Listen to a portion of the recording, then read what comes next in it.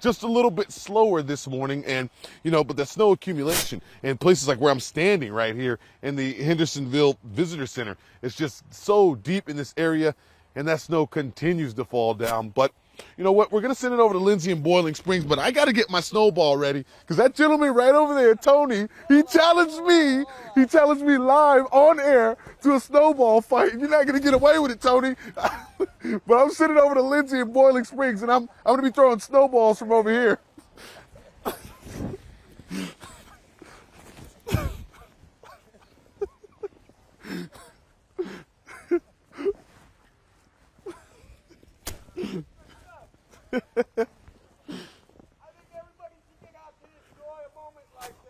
I agree.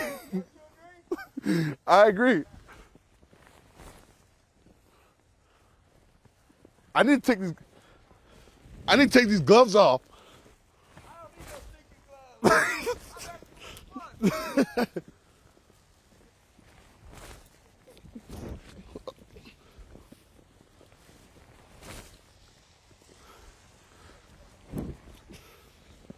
Welcome, see ya.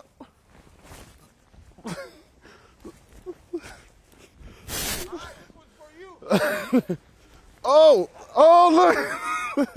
you almost had me.